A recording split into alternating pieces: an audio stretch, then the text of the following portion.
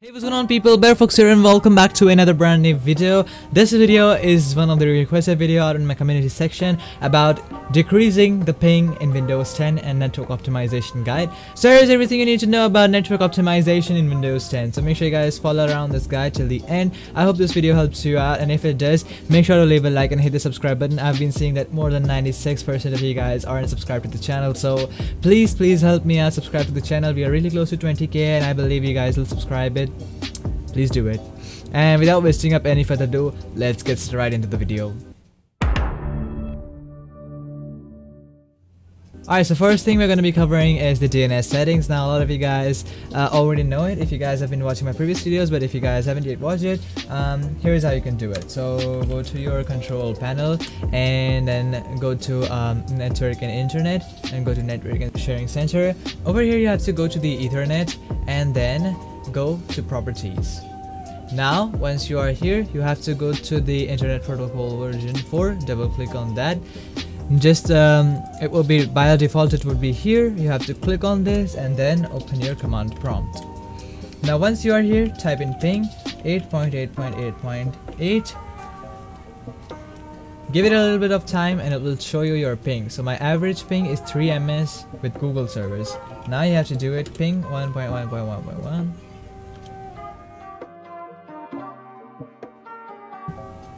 so as you guys can see i'm getting a lower ping over here whereas the higher ping over here. So what you can do is over there you have to type in 8.8.8.8 and for the alternate dns server you have to go for 8.8.4.4 hit ok and hit ok. For the next step we have to do is click on ethernet once again go to properties and hit configure once you are here, go to power management and make sure that all of these options are unchecked. In that way, your uh, ethernet won't shut down even if there is a shortage of power. Next thing I'm going to be talking about is something that your PC has inbuilt. All you have to do is type in network reset and you guys will find it in your settings. You have to click on reset now, hit yes and you have to restart your PC once and it will reset your internet. Alright, next thing is again in the control panel, you have to open up your control panel and then type in power and go to the power options. Once you are here, make sure you click high performance and then change plan settings, change advanced power settings. Over here, you have to go down and find wireless adapter. Double click on that, double click on power saving mode and then make sure it is set on the maximum performance. Hit apply, hit OK and close it. Next thing is altering the startup apps. For that, type in startup apps and it will be popped up right in your system. You'll be coming to a page like this. Just disable all the apps that you don't want when your PC boots up. In that way, you're going to be saving a lot of your internet since your PC doesn't consume any internet while it boots up.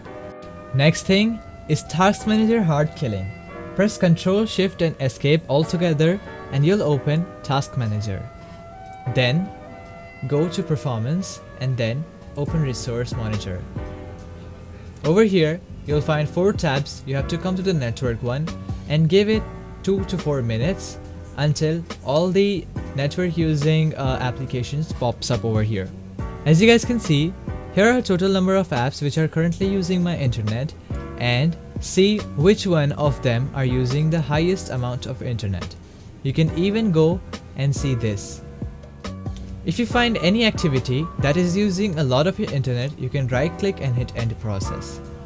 Be careful about the applications which you are closing because many of them would be related to system and crash your system.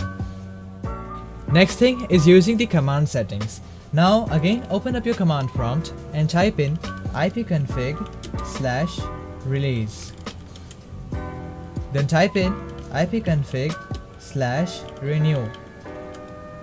Then type in ipconfig slash flush DNS and close it.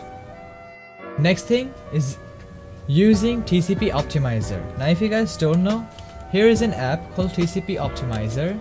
I'll be leaving a link to this website in the description below. you'll be directed to a page like this.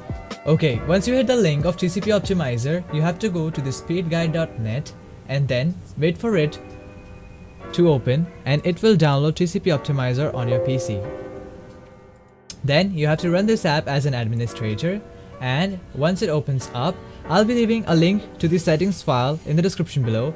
You have to go and hit file and then hit import and download the file that I'm going to be providing in the description below and open that file over here and then make sure in the settings section your connection speed is up to 100 Mbps. Then I highly suggest you guys using an app called NetLimiter 4. I'll be leaving a link to that app in the description below. Okay, once you open NetLimiter 4, an interface like this will pop up in front of you. Now suppose you are playing a game, what you can do is right click on the uh, game app. Suppose this one is your game. All you have to do is right click on that, hit priority, then from normal, go to high and hit save. Now this way, you're gonna be giving a large priority to your game rather than the other apps that your PC is using in the background. So you'll get a better gaming advantage anyway. Alright, last but not the least, here is the ping reduction bat that I'm gonna be leaving a link in the description below. You guys can download it and then right click on this and run it as administrator. Now this bat is completely safe. Here I've saved you some typing time in your command prompt. I have disabled all of those unwanted applications and unwanted network consumption uh, stuffs that your PC run in the background. It's gonna disable all of that. And believe me, this is one of the very important steps. If you miss it, whole things might not work. Guys, I hope this video helps you out. If it did, make sure to leave a like and consider subscribing for more videos like this. We'll see you guys in the next video. Until then, stay tuned, keep watching BareFox, and Peace out.